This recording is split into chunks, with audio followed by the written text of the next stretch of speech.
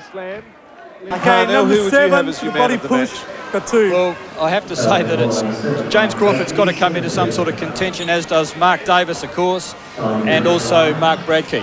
And David Hookes there in your screen is probably also wondering, well, I'd like to have some of the strength of these guys in my cricket team as well. Well, I wonder whether I wonder whether Hookesy would come to the basketball if we were playing the Brisbane Bullets after what he wrote in this morning's advertiser. By gee, I agreed with every word of it. Actually, quite a few of the cricket brigade here tonight. I noticed Barry Gibbs, the general manager of the league, sitting over there with the president, Jim Gross. Of course, people from Foundation South Australia, Dr. Court over there. And they really have enjoyed this performance by the Sixers. Phillips is going to score again here. No, he doesn't. Bradtke has the opportunity. He is fouled. And Tiny Pinder is out of the game. Well, it's uh, a much brighter looking Apollo Stadium and a, a terrific game. Uh, to my mind, Adelaide look really good at the moment. Larry, uh, Yeah, is it Perth not playing well or Adelaide are just super? Well, Adelaide look like they're playing very, very well. They're very confident. You know, Scotty Ninnis is going in there doing his little little dipsy doodles and things like that, and and, and making. I mean, everyone everyone seems to be taking those shots and taking the options and, and putting the ball in the hole, and that's uh, a sign of a very confident, very good team. I think the reason why Adelaide has the wood over Perth in most of the games they play is they play a very similar style of game, but Adelaide do it a little bit better, and that's that real fast break, run and gun stuff. Yeah, exactly. Um, and they've got the players that can do it now. They've got the guys who can really put the ball in the hole, as I say, and, and, and they're doing it, and that's the that's the whole key. It looks like they've recruited well. Orlando Phillips, you'll notice they're in the double O singlet playing pretty well. We'll take a break and come back with more in just a moment. The action with Adelaide well on top. So he has had a terrible night, Tiny Pinder. The third Wildcat to be fouled out. One minute 11 to play, 129. Plays 93. Lynn, that's extraordinary. Yes, Tiny Pinder was restricted to just nine points for the game, which is a tremendous effort from the defensive uh, of the 36ers. And Pinder didn't really have much contribution on the boards either, didn't pick up too many rebounds. Well, what strikes me about this game is that I'm quite sure as misses with that shot. It's a long pass to Spear and controls it, but just taps it out of court. But I'm sure that the Sixers are going to get better because they can play better than this. Travel by Corey Piper. He's picked up by the referee, Michael Butler. We're under a minute to go now. So it's Scott Ninnis bringing the ball down. David Spear back to Ninnis, who goes against Crawford again. That is dropped. And Crawford wasn't going to let him get away with that one. But the good thing is that Ninnis is not intimidated by the bigger and stronger men underneath the basket. He's prepared to put his head down, drive hard to the hoop, and go hard at it. And he's pretty happy too, and so he should be. He's had a good game, Scott Ninnis. On tonight's showing, he's going to get a fair bit of court time. Disappointed with that effort though. The 36ers shot beautifully from the foul line early on. They've missed, missed a few lately. Tiny Pinder sitting on the bench. He wouldn't be happy. Eric Waterson wouldn't be happy. Mike Ellis wouldn't be happy. All fouled out for the Wildcats. And I guess that function at Superdrome at the moment wouldn't be going along too well. But don't worry, the Wildcats will be there at the business end of the season. They're a much better side than what they've showed tonight. They're simply outclassed tonight. Orlando Phillips is going to go and miss. Well, he wore the charging foul. Foul is double That's four fouls on. Orlando Phillips. Good defence from the Wildcats. Phillips committed himself to the dunk, went hard at it, but the defence was definitely in the way. John Casey, how would you rate Orlando's performance tonight in his first NBL game? Yeah, well, I guess, uh, you know, he's, he's had some good moves, but he's also made a few mistakes. He's certainly going to benefit from this match, but I just wonder, I mean, there must be the envy of the league, the 36ers. You've got your second American recruit, not fully fit. You bring him on when you want. He goes off when he wants, and you still win a match by something like 37 points. Ninnis wasn't going, oh my goodness. That was going to look sensational if it came off. The game has one second to go. Scotty Ninnis saw James Crawford coming at him again and just flicked the pass behind to Mark Bradtke. If Bradtke had got that ball through the basket, he would have pulled the ring off the backboard, but he was fouled and will go to the foul line. So the Sixers are going to win this game by at least 37 points. Glenn, that's extraordinary. It is. It's amazing effort from the 36ers. First up, first game of the season. Their fitness definitely shows. They're looking confident. They're getting the ball down the court quickly. But I think there's a lot of improvement that the fans will see from the 36ers this year, and they'll definitely be a threat at the end of the year. Well, the game is just about to be all over. It is a wonderful performance by the 36ers to win the first home game of the season and they will nearly go to the top of the premiership ladder with that performance. They've run out easy winners, 132 to 93. Well, it was. It was just a sensational performance. And when you have guys like Scott Ninnis working moves like that, it just shows how confident they are. Yeah, well, you know, that game really did. Winning a game against the Perth Wildcats by 39 points, they're doing something right. But uh, as the commentator said, they've got Orlando Phillips just coming off the bench. Obviously, Mark Davis is doing a good job. Mark Bradtke's doing a good job, and the guards are shooting the ball well. So they're going to be a tough unit. They're always very tough to beat at Apollo anyway. It's such a a small, compact stadium, you feel like even the spectators are, um, are playing defence against you sometimes.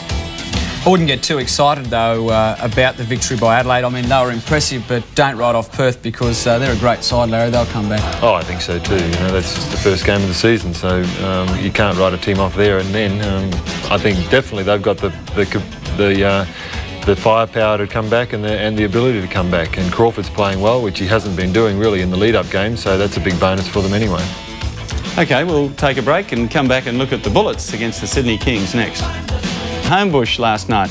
And what a game it was. The Sydney Kings with Bob Turner, a twice NBL Coach of the Year, and of course Coach Canberra a few years ago when they won the uh, NBL and they're a different looking outfit this year. Yeah, well, they basically got the same amount of, or the same players in the team, but yeah, they are playing a little bit different. Bobby Turner's starting to get a little bit of control and um, and change the, the way that they play and actually change their defence.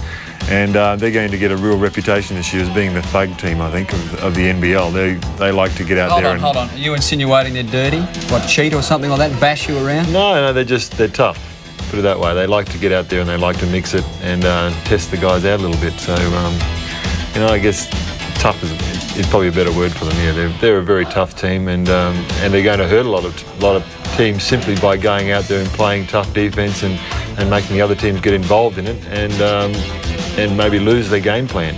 Okay, we've heard those words from Larry Sengstock, who was on court there at the Homebush Sports Centre, which is packed, by the way. Sydney have just caught on to basketball and how good it can be. The score is 51 to 49 in favour of the Bullets as we rejoin the action. By two, we've got ourselves a game. There is absolutely no doubt about that. There's four minutes remaining in the third quarter, and uh, the Bullets seem to be getting their act together again, although the Kings have played this game so tough, there's no doubt it's going to go down to the wire. Ian Davies out there again. Bob Turner hoping that Davies can uh, set a light out there and hit a few three-pointers. Meanwhile, Carfino gets two, and it's all tied up again, 51 apiece. This is an NBL score from 1979, this. 51 apiece, uh, nearly uh, with only three minutes left to go in the third quarter. Sibley works inside, has it swatted by Ridlett, but they save it. Radliff with another three. Boy, that's three three-pointers in a row from the Bullets. And that's great ad-lib basketball from Ronnie Radliff. The offense had broken down, so the Rat just threw it up there. And there's not many guys that can do it better than him. Well, it was a bit more scientific than a throw. he softly threw it up there, through the middle. Inside pass for Ridlin, who just can't score from that range. It's his bread oh, that'll be goaltending, I think. Yes. Well, Ridlin hasn't been able to get from around about the six-foot mark, which uh, is normally the one that he easily gets, but uh, Loggins that time helped him out with the goaltending. So Kings trailing up, by one. That was a good heads-up call, too, because it would have been very difficult for the referee to see that that ball was on the way down, but it, it, it clearly was. Good call. Fox bounce pass for Loggins, taking on Ian oh, Davies and so scoring tough. again. That is so tough. The left-handed to spin around to the right-hand side like that and still score so easily. And with the defensive player right in his face. He probably couldn't see much of the ring. He doesn't need to see much. Leroy Carfino doesn't either. Great shot from Steve Carfino. The Kings back within one. Two minutes 15 remaining in the third quarter.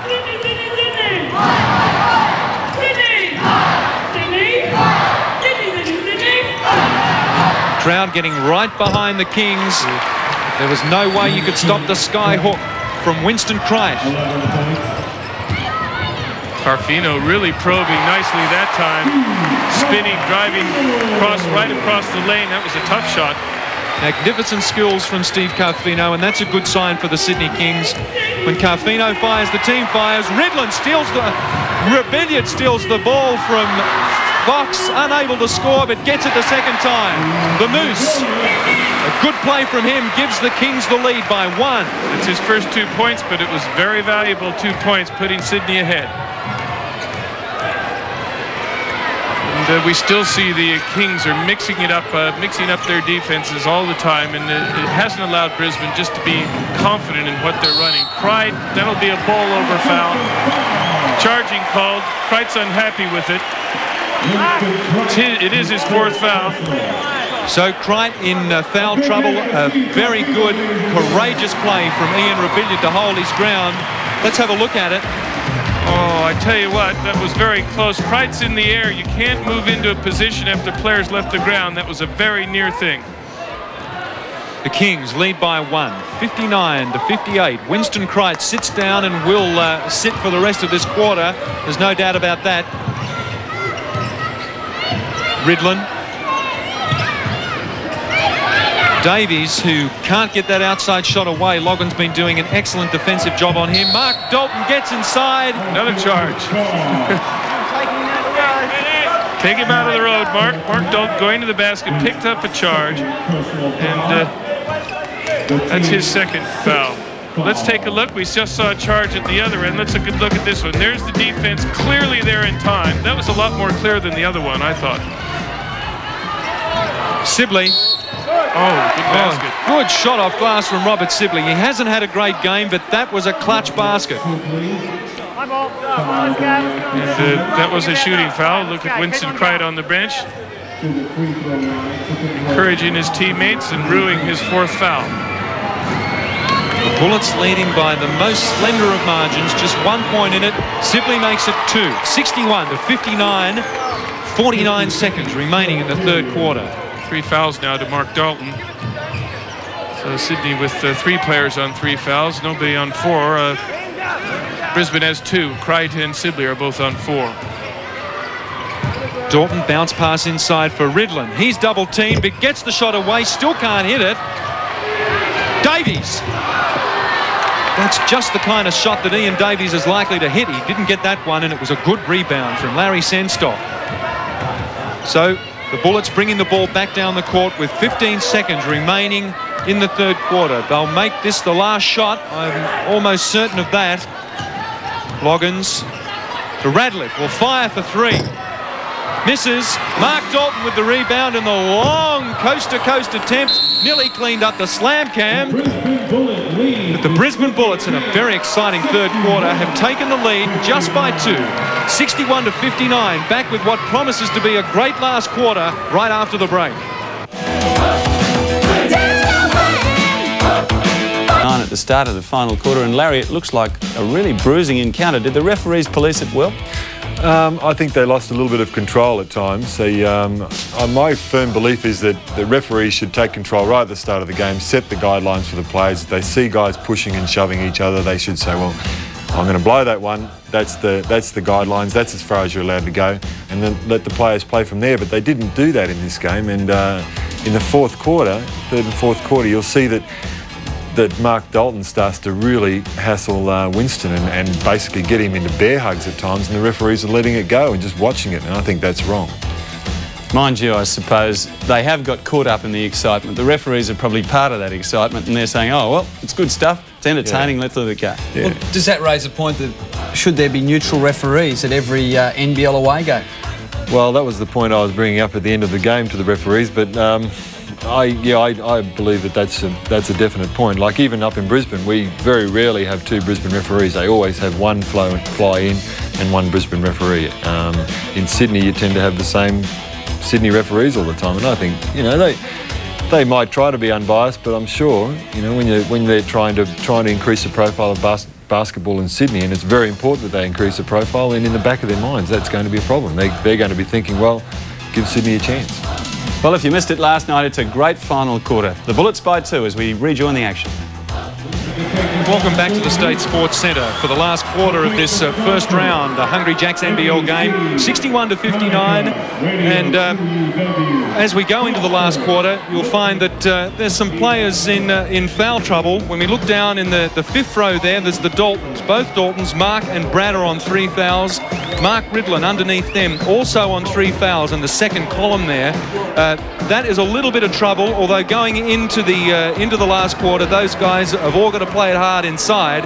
So I don't think they'd be too worried about it. And Mark Ridlin is the kind of guy who can last a whole second half with uh, four fouls. He's that kind of professional player.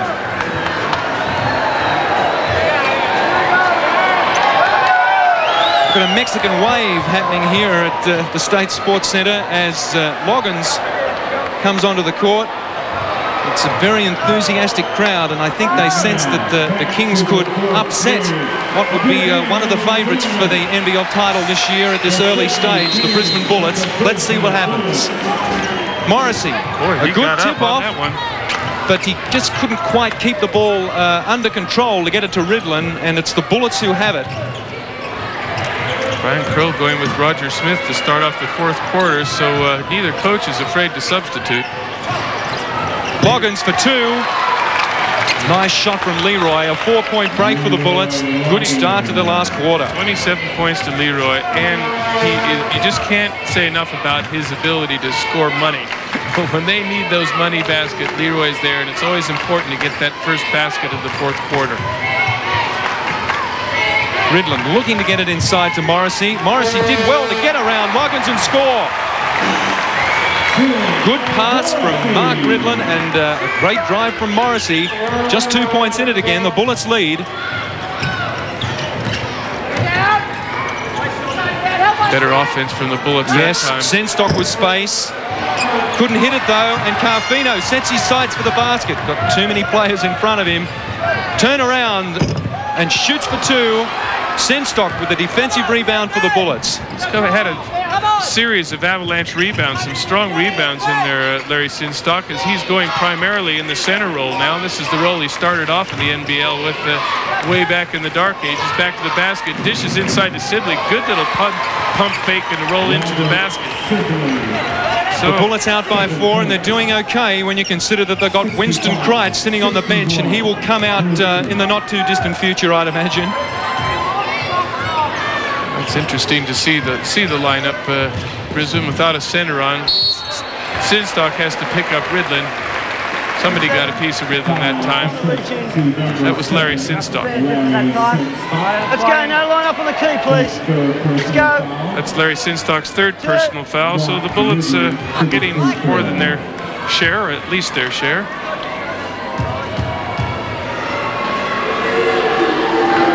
Two shots. Mark Ridlin. A sweet first shot from Mark Ridlin. Nothing but net. Six rebounds in the game for Ridlin at the moment. Uh, I would suspect that Mark Dalton probably is the top rebounder for the uh, Sydney team at this stage.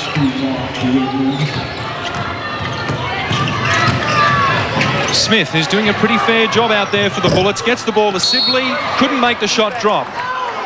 John Payne has found a foul. Damien Keogh is the man.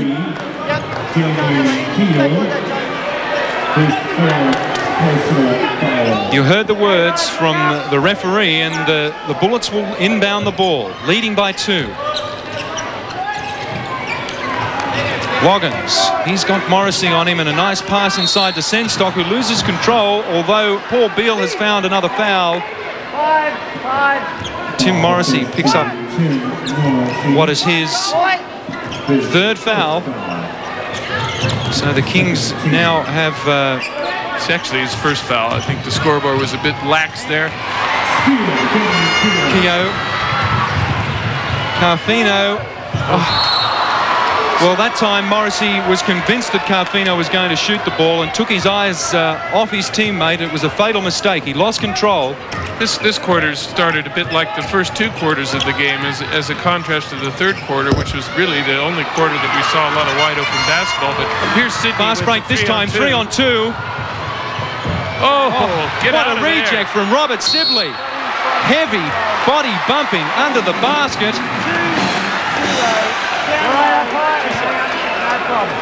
The foul going against Roger Smith. Let's have a look at it. Watch this block coming in from Sibley. Whack. Got a piece of Keogh, too, in the follow-through. Morrissey gets the rebound. He's fouled from the side by Roger Smith and will get two shots. First one's in.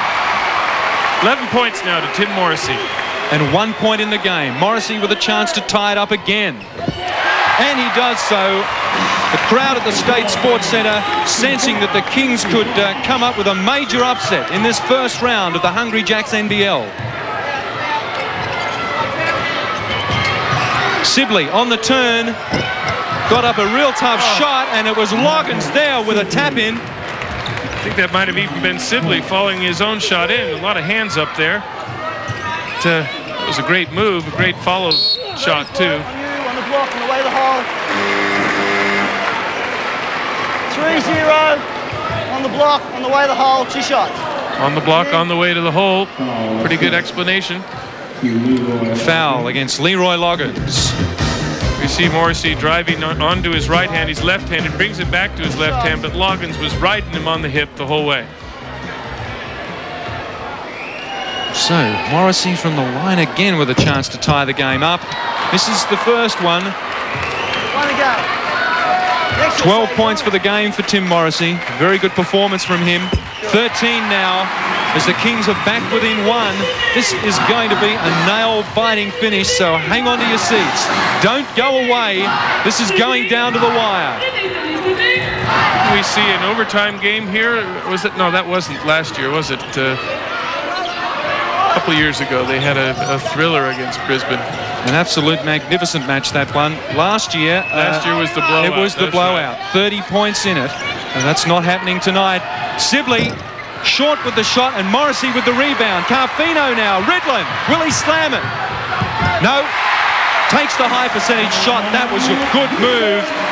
What he did, too, was just give Roger Smith every opportunity to foul him as well. Very heady play by... Uh, Mark Ridland, that was great stuff.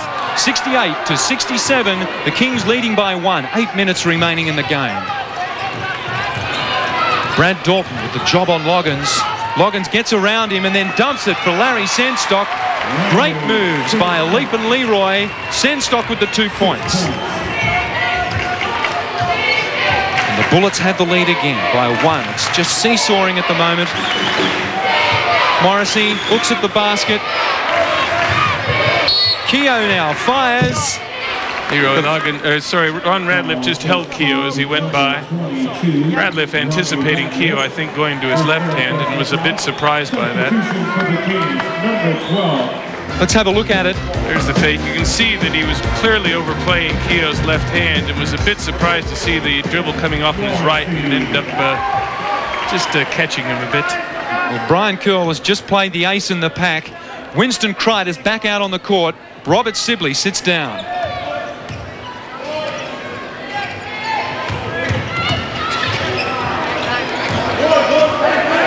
Brisbane slipping into a zone a little bit. Could be to protect Crite's foul situation with uh, over seven minutes to play. Baseline drive from Morrissey. Crite got out of the way that time, too. He wasn't about to foul Morrissey going to the hoop.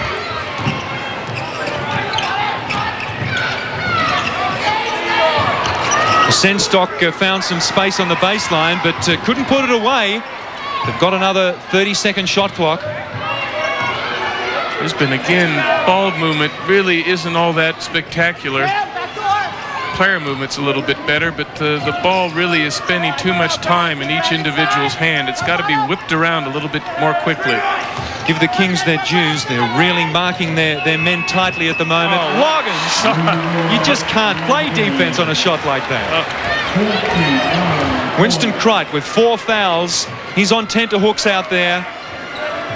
Carfino looked at the basket, then got the pass away for Dalton. Keogh, little bit of hesitation with the shot, then took it again for two points. It was good play by Keogh as it turned out. He got rid of the defense and gave himself the easy basket. The Kings trailing by one. We're almost halfway through this exciting last period.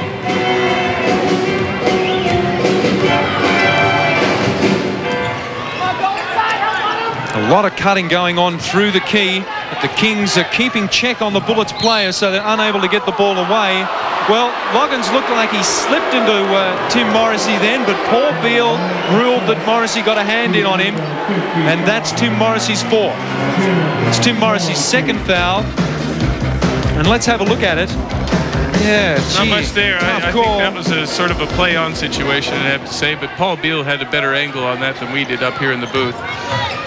And the referees have done a pretty good job tonight in what has been a really physical game. Classic backdoor move. Player looked at, Loggins' player looked at the ball. Loggins said, bye-bye, I'm going to slip away to the basket. And he brought up his 31st point.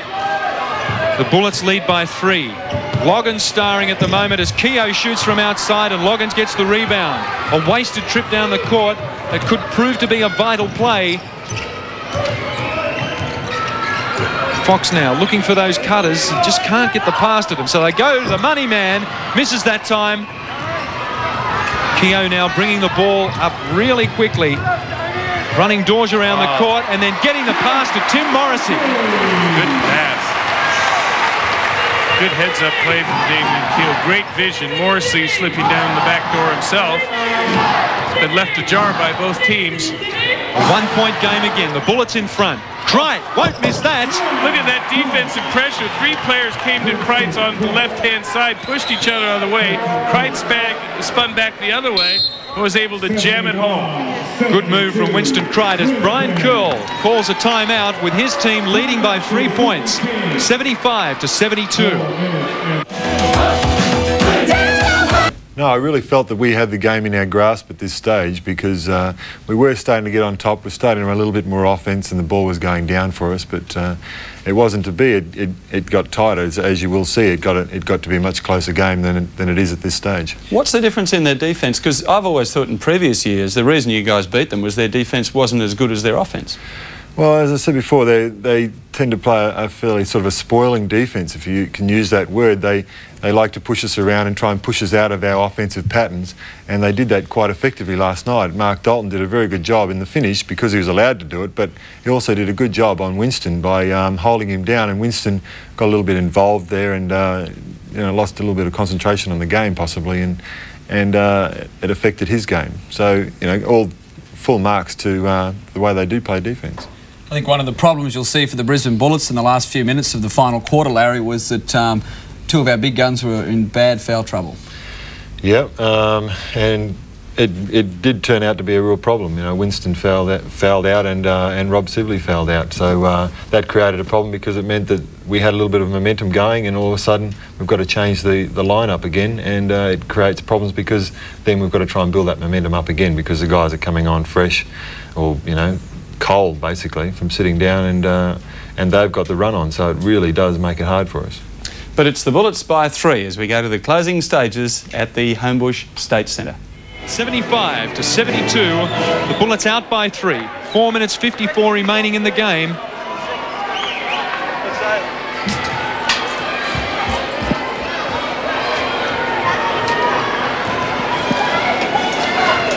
And as they come into play now, the Kings Looking at a three-point deficit. Keogh with the ball. Brisbane staying in the zone defense. Morrissey with the ball. Keogh looking inside all the time. The guard's looking inside. Is it going to be Ridlin? Is it going to be Dalton that gets the ball? Morrissey kicking back out to Keogh. Ridlin. He's surrounded. Forces up over the John Dorge. That'll count. That was a tough shot. John Dorge says he had his hands straight up. But I think if we get this on replay, you'll find that initially his hands were out at an angle away from the vertical. That's when the contact occurred. See the pass in there. Now Dorge comes out. Now watch his hands first.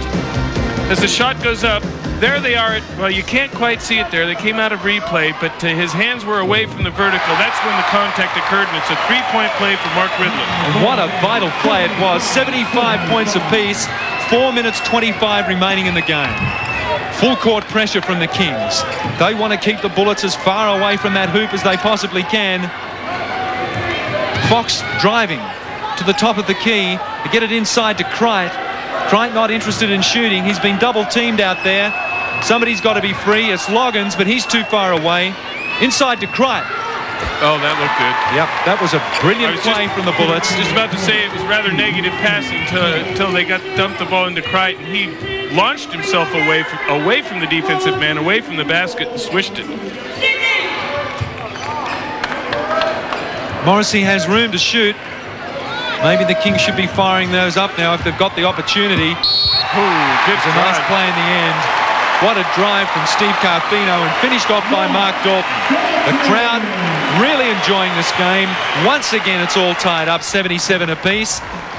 And there you can see John Dorge with the body. Not too much contact up near the ball, but a lot of contact down near down in the basement areas.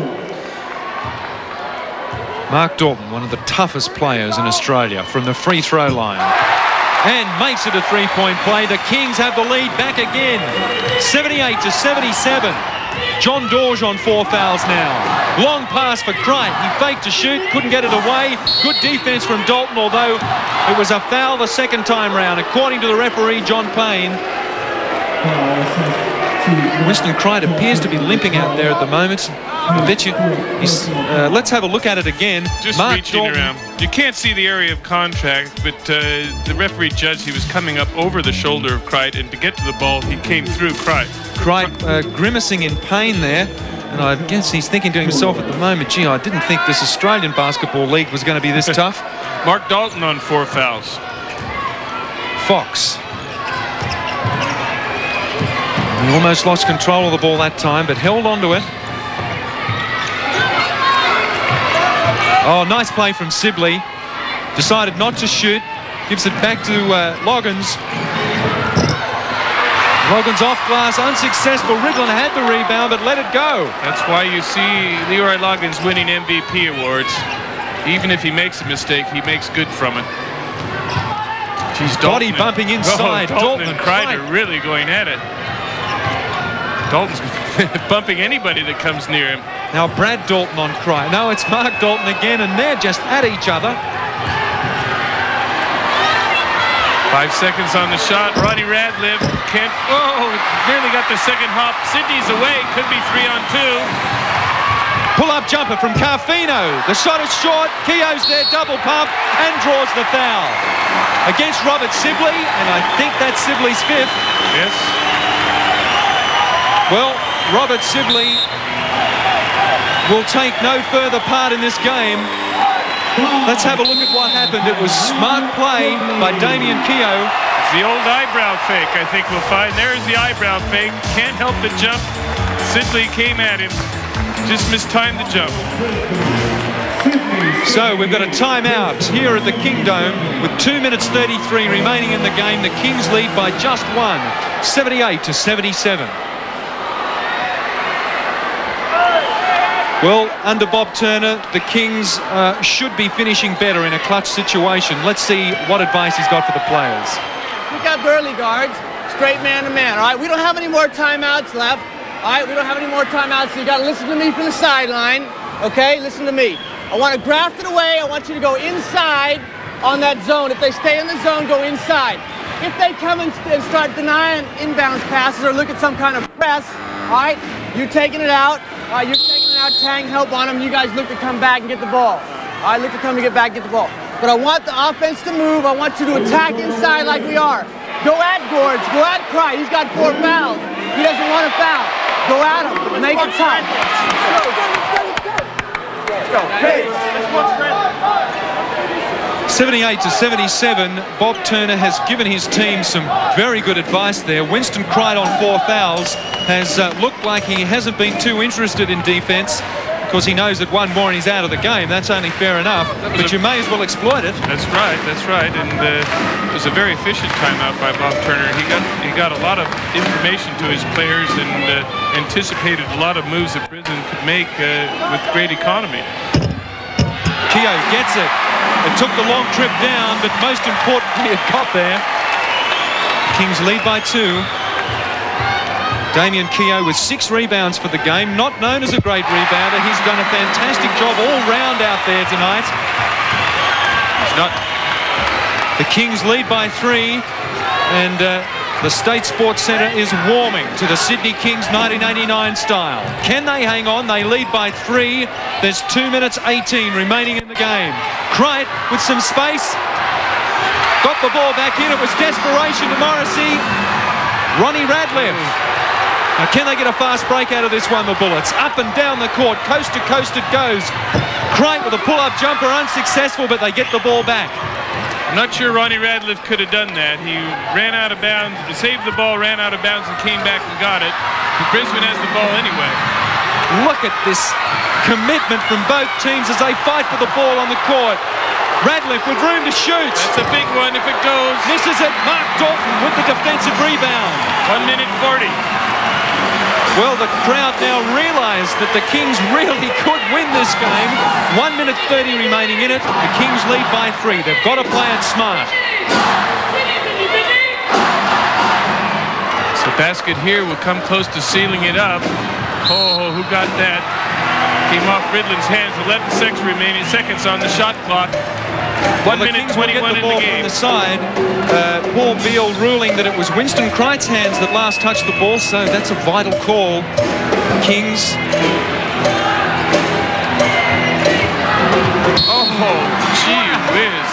Winston has got his fifth foul, I think you'll find. That was a very interesting play. I don't know. There was a lot of contact there. Fifth foul, Crite, as you say. And it'll be interesting to see uh, what happened. This is an amazing. There's the screen. There's the the screener's knocked into the shooter, and Crite comes over the top. He was a bit unfortunate there, actually, on replay, you'd have to say, because uh, the main contact was caused by the screener falling into the shooter. And uh, Fox was in the back of the screener. So it was all happening there. I think that's what you call a chain reaction. That's what... Uh, the domino effect. Unbelievable. Uh, well, maybe they've changed it here. I don't know. Crite's back on the floor here. We're looking for an explanation now. Maybe somebody uh, picked up the foul was on... Uh... Well, according to the scoreboard, the foul is against Winston Crite. Maybe Crite just wants to talk to the players before he walks out of the game. Let's check it out. He is out of the game. There's no doubt about that. Oh, that was interesting. Never seen that happen before. The Kings in a huddle, not letting uh, all of that worry them too much, and uh, really it's a good play for them with Winston Crite out of the game. One minute 11 remaining. They lead by three.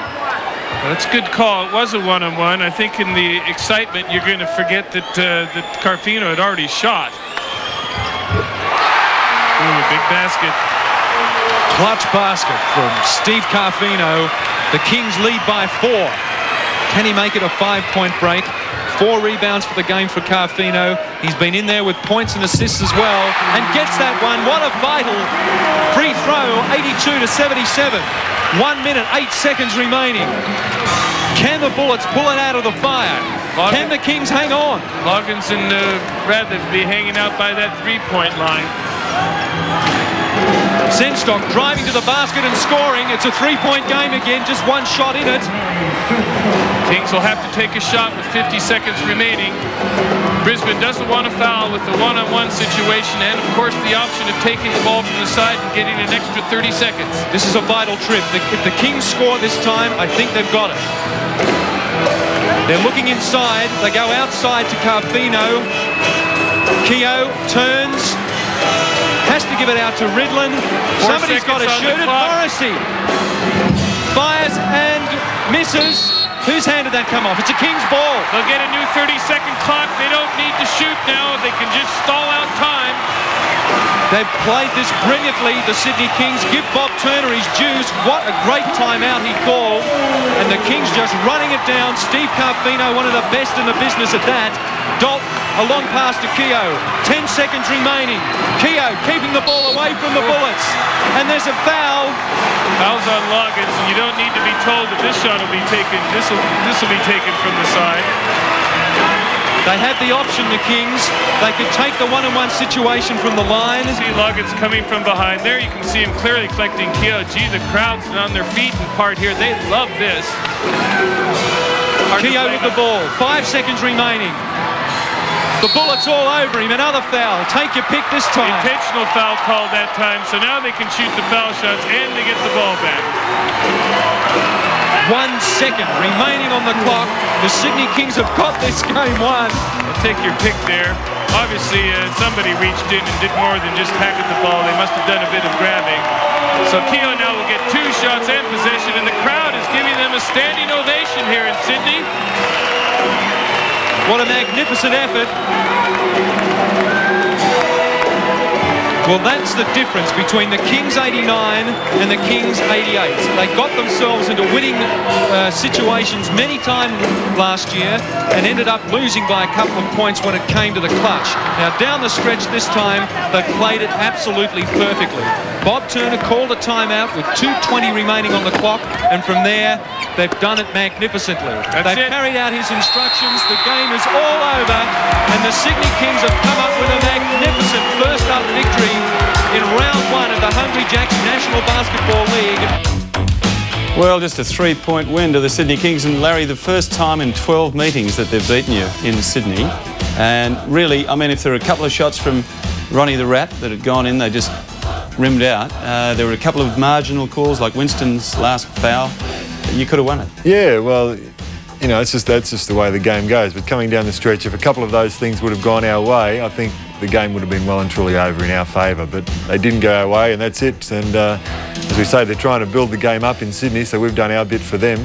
Um, but I think that's a, that's as much as we're going to do for this year. So, um, you know, we're out now to, to make sure we get back on top of the table and, and finish on top of the table. Larry, normally you're a very quiet fellow on the court, um, not prone to be saying any comments to the referee, but I noticed you were yelling a little bit at the ref right near the end there, particularly uh, after that last steal attempt by Leroy Loggins. Well, I just, you know, I, I get caught up in the in the in the whole situation, and um, I get what they call white line fever. Once I step over the line, I become a totally different person. Maybe sometimes I go overboard, but uh, as captain, it's sometimes my, my duty to let them know, and maybe it'll help us next time. It didn't help, obviously didn't help us that time, but um, you know you got to try everything you possibly can when you're out there playing. It's a highly competitive situation, and, and I'm a highly competitive person. Tell me this, when, you, when you're playing a tight game like that one was, where it went right down to the wire, is it more frustrating to lose those than a game where you've been beaten well and truly probably by midway through the final quarter?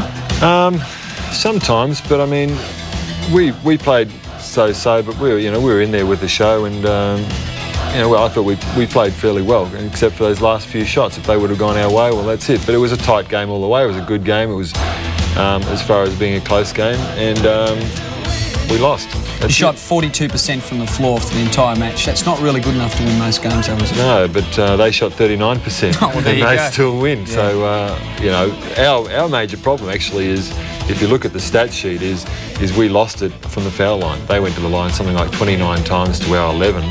Um, so they scored probably 10, 12 more points than us from the foul line, and that's the end of the ball game. So we've got to try and cut that out of our game. It's not panic stations, despite the fact you've lost one already. No, it's a long way, long way short of that. I think it's just, um, it's just a little setback, but I, you know, I don't think it's going to be a big problem. I think we'll, uh, we'll certainly come back from there.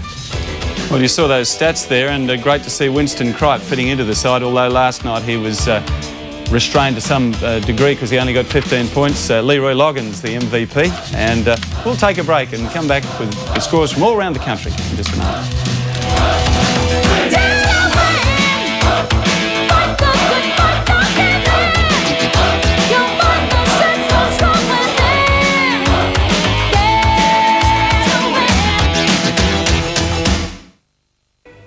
In every NBL game, there's one player who stands head and shoulders above the rest. We call them super players. The Sunday Mail NBL 89 Super Player competition is on now. Simply watch Channel 7's Bullets match to find out who the super player is. Use the Sunday Mail entry coupon and you could win six tickets to a Bullets home game and an autographed ball.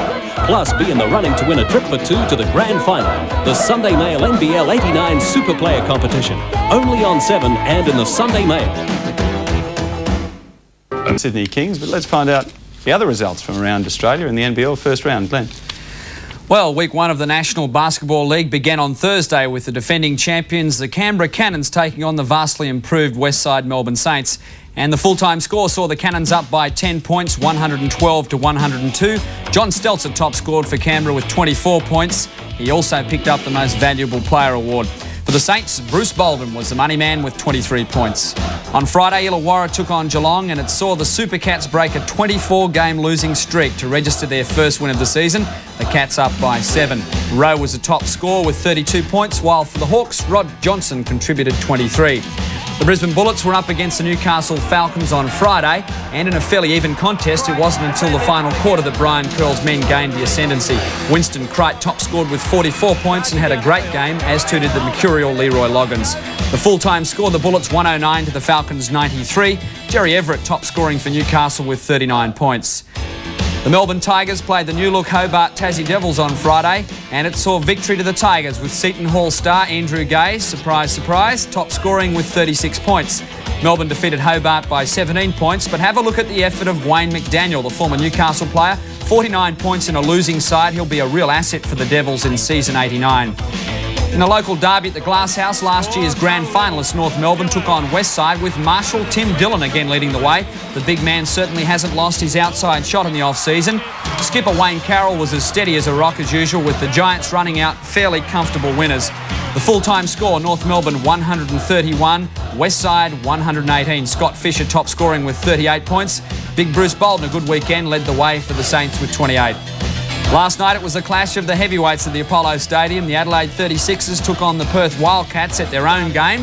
There were fast breaks aplenty and there were plenty of dunks. Scott Ninnis had a good game too for the uh, Adelaide 36ers. The 36ers annihilated the Wildcats, winning the match 132 to 93. Bradtke and Davis top scored with 24 points in a fine all-round team performance that has sent shudders throughout the NBL. The Alabama slammer, James Crawford, was far and away the best for the Wildcats with 32. Canberra completed a fine start to their season with a solid 114 to 105 win over the Geelong Supercats. The Snake Man, Herb McEachin, top scoring with 19 points, and Rowe, again the bucket man for Geelong with 35 and the MVP award. Another big game over the weekend, the Sydney Kings, as we saw earlier, against the Brisbane Bullets. Let's have a look at the slam of the night. It came from Tim Morrissey. As we saw, it was a fairly scrappy game, highlighted by rugged defence on both sides, and there's that dunk from Morrissey. In a close one, the Kings recorded the upset, defeating the Bullets by three points. Mark Ridland top scoring with 18. But without a shadow of a doubt, the star of the night, the big 3-0, Lip and Leroy Loggins, 31 points, 7 rebounds and 5 steals to easily win the MVP award. And finally, the Melbourne Tigers just edged out the Eastside Melbourne Spectres in a close one last night. Gaze, as usual, top scoring with 31 and taking out the MVP award. For the Spectres, Lockhart the best with 31. The full-time score, the Tigers 111 defeat the Eastside Melbourne Spectres 109. Okay, we'll be keeping you in touch uh, with the NBA right throughout the season here on NBL 89. And one of the big names in the NBA in recent years has been Kareem Abdul-Jabbar. He's 42 years of age now, and he's decided this is going to be his last season. But unlike Dr. J, Julius Erving, who went out in a high note, the Lakers star this year hasn't been faring quite so well. He reflects on what has gone and what might happen in his future. Go. 1964. Power Memorial High School. They're talking about the big kid with the sky hook. Ever since Kareem Abdul-Jabbar has been playing the game, his sky hook has led his team to victory. The UCLA Bruins, NCAA champs with Kareem. With Milwaukee and with the Lakers, Kareem Abdul-Jabbar lived by the sky hook. Last year, when the Lakers absolutely had to have it as they won their back-to-back -back NBA titles, Kareem was still there to deliver. Can you believe it? The old man is cooking. 42 years old. But in this, his farewell season, even the sky hook would fail for Kareem. In fact, in January, he was averaging just 8.6 points a game. That's a mere shadow of his 25-point average. Sports Illustrated joined the long list of critics who said that Jabbar should not have been playing this year. To add to his frustration, Kareem was convicted of assault for this incident when he scuffled with a tourist in Phoenix last spring. By the time the basketball season finally got underway, basketball was the last thing on Kareem's mind. When the season started, my focus really wasn't that uh, that together. It was really dissipated over a whole lot of different areas, uh, you know, of thought and reflection and stuff like that. I, I, wasn't really ready to play the season when the season began. I did know that he went through a bad period when he was injured, and then he lost a major part of his conditioning. It took him a month to get back, and then there was all the negative publicity. I think uh, actually beat him down a little bit. But you know, once he clicked in, flipped the switch uh, about mid-January, and he got himself back in condition. Uh, you know, Kareem right now is playing again frontline center minutes, and uh, his performance is much better. As his play has improved, so has his attitude. In fact, during a farewell ceremony a couple of weeks ago in Phoenix, Kareem even joked about the incident in the Phoenix Mall. I was told they'd have one, one extra gift here for me. It was a get out of jail free card, but 20 years and 38,000 points later, Kareem Abdul-Jabbar is being honored by fans from coast to coast, heaping praise, admiration, and respect. Something that hasn't been there through all of his career. During the years when I when I had great stats and was really dominating the, the league as far as the center play was concerned, uh, people really ignored it. Um, they just chose not to pay any attention to it. And, uh, I, you know, I had several great years that just really went by the, the wayside with not much fanfare. So it's nice to be appreciated uh, at this part of my career, even though it, it's not statistically what it was. Just the fact that people are recognizing what I've done and uh, the way I've done it, I, I, think that that's wonderful. And uh, as they say, better late than never. As playoff time approaches, the intensity seems to increase a little. This gentle giant will be battling for respect right down to the final whistle. Kareem got hit in the face. Look out, Kareem! He didn't mean it. Now Kareem attacks Krystkowiak, so we got to fight in it. His critics say that Kareem should have stepped down by now. But those who know the Lakers' chemistry best say that if this team is to win a third consecutive title, they'll need a good Kareem Abdul-Jabbar. Question is, if called upon, can he respond to the challenge? I think I can play consistently well enough to, to give us a shot at, at, at uh, going after the title. Um, it's never uh, a sure bet one way or the other. You know, something might happen. We might get an injury to a key player, and that, that'll be it for us. But right now, I think we, we should be considered as contenders, and I think that I can help them uh, in in our quest for the for the title. And what lies beyond the playoffs? Kareem has made it abundantly clear that he enjoys life on the silver screen. Hello, we're selling cookies. It's for a very good cause. Would you like to buy some? I would, but I just bought four boxes from your friends. You did? Sorry. This is Kareem's 42nd birthday. He is about to retire. Retirement is a time to look back on the past and to wonder about what lies ahead. It's mixed feelings. Uh, one of relief, and then one of pride, and then uh, the unknown of what lies beyond that. Um, you know, you hate to see a certain thing end that has been such a big part of my life. And uh, that's the hardest one to, to get a good read on. And now his final farewell is at hand. So um, I'm gonna I'm gonna steal a few words from the uh, from a song by James Brown called "Maybe the Last Time." It may be the last time we shake hands. It may be the last time we make plans. But whatever happens, thank you from the bottom of my heart. Before that final farewell, there are the playoffs. Kareem hoping to play a major role. What lies ahead? Mostly questions, except for the destination of jersey number 33. That will have a home in the Hall of Fame. Thank you very much. You're the greatest. Well, like Larry Sengstock, Kareem heading to a career on the screen, but uh, Larry's got one advantage. He's got more here. Glenn. at this stage. well, uh, as usual this year, like we did last year, we'll be having the Mazda Slam of the Year competition. We'll have details of that prize next week on the show. But there's the car that's on offer this year, the Mazda 626 Estate Wagon, a magnificent vehicle. And of course, uh, we've got some high flyers here right in Brisbane. None better than probably Winston Crite, who's pulled off some of the best slams already during the Bullets pre-season campaign. So details of the Mazda Slam Dunk competition next week.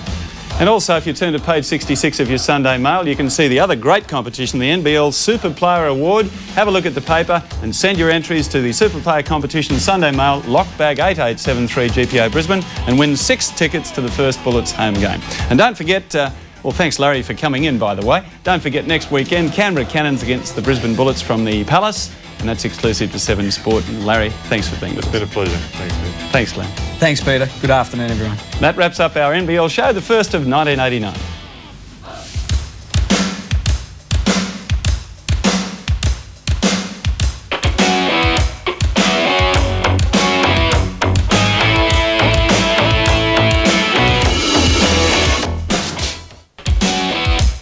Hungry Jack.